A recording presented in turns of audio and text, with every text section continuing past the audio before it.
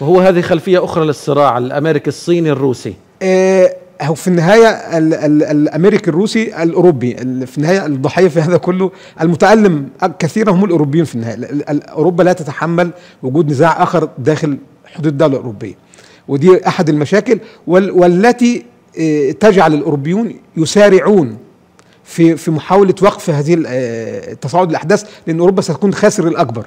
أوروبا هي الخاسر الأكبر من الحرب في أوكرانيا وستستمر خسارتها بشدة لو قامت اي لو قام أي نزاع داخل هذه المنطقة. نرجع تاني النهارده إحنا عندنا دولة مستقلة اعترف بها العالم شاءت صربيا أم أبت يعيش اقليه أقلية صربية في تجمعات في شمال هذه الدولة. جميل هؤلاء يرفضون الالتزام بحدود الدولة التي ترعاهم والتي يعيشون داخلها ويأبون إلا الانتماء لدولة أخرى دولة أجنبية أيا كانت هذه الدولة المطلوب التي تقوم بالسلطات الكوسوفية بشكل مطلق بدون انتماء ديني أو غيره احترام قواعد هذه الدولة. مش مطلوب منك تضع سيارات دولة أجنبية داخل الدولة وتخوض بيها. مطلوب لما ترخص سيارتك ترخصها في في حدود دولتك اللي انت عايش جواها مش آه، مش في في في في دولة خارجية. النهارده تمت انتخابات قطعها الصرب. يوم أربعة يوم 29 مايو, مايو. آه تم مقاطعة الانتخابات بشكل كامل. شارك 4% أنت كان عندك فرصة لتنتخب من تريد للانتخابات البلدية. قطعتها السلطات ال- ال- الكوسوفية قامت بتعيين رؤساء بلديات. قامت مظاهرات صربية واعتصامات وأعمال تخريبية أمام مباني البلديات وداخل مباني البلديات. تدخلت قوات حفظ السلام الموجودة وتدخلت الشرطة ال- الكوسوفية ل والقبض بالقبض على المخربين. اجتمعت ال- ال- الجيش ال- الصربي أو جاب قواته وحطها على الحدود.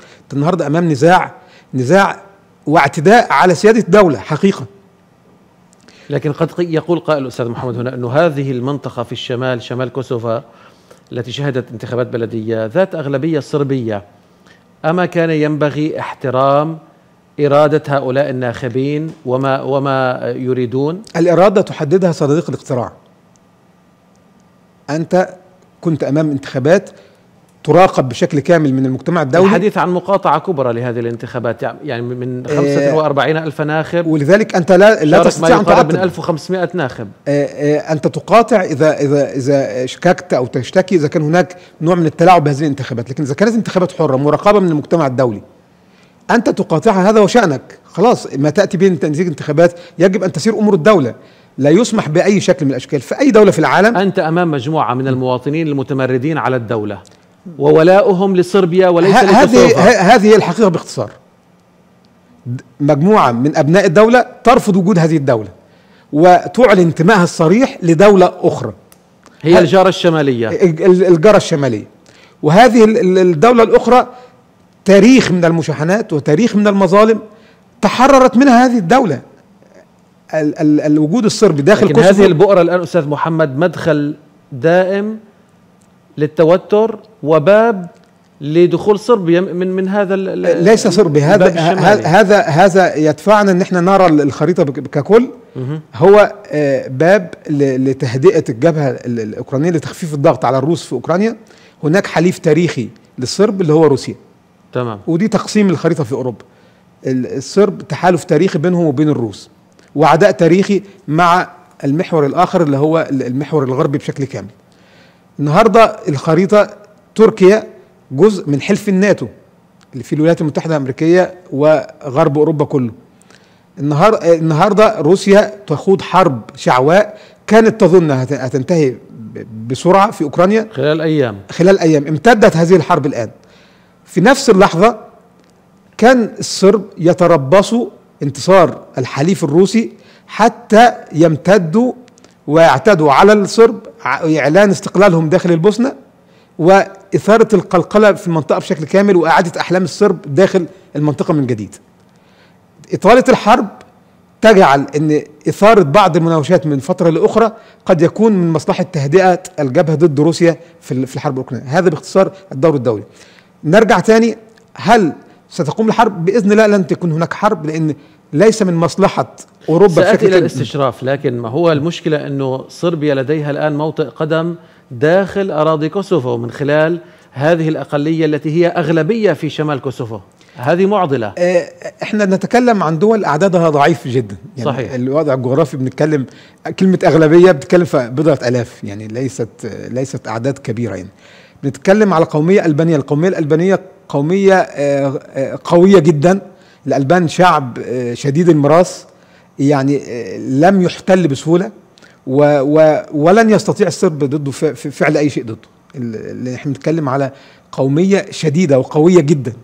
إذا كان الصرب بي- بيحلموا بصربيا الكبرى فالألبان عندهم اعتزاز شديد جدا بالقومية الألبانية.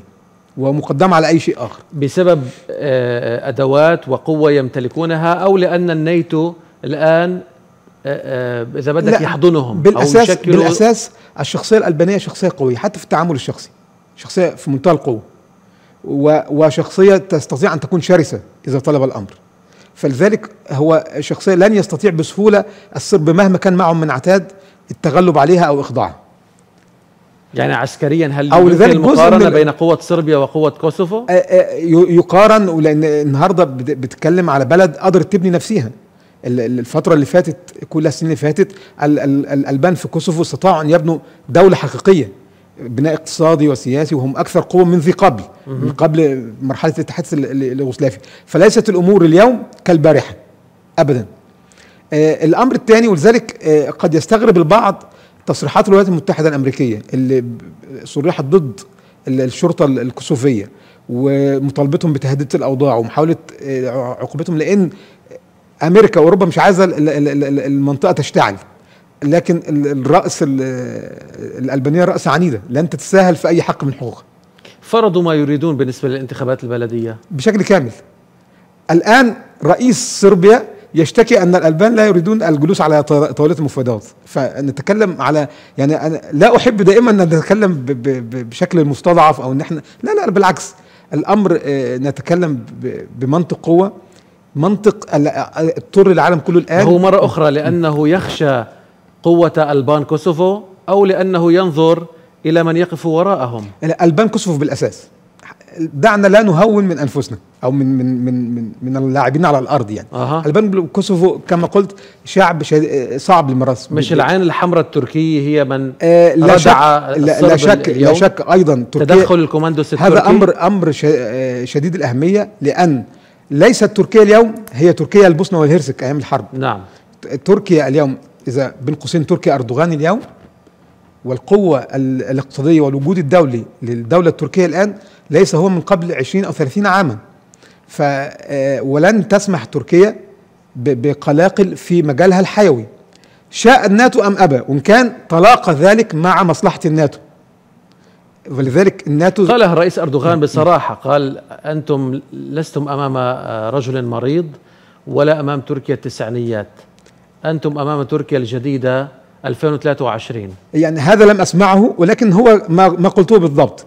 ليست تركيا الصرب بيفهموا هذا الكلام يفهمون هذا الكلام؟ جدا جدا جدا. آه، الدور التركي حتى أيام يعني أنا كنت موجود أيام الحرب الأولى في عز آه، آه، يعني المذابح وغيرها كان وجود الأتراك عنصر تخوف شديد من الصرب وغيرهم.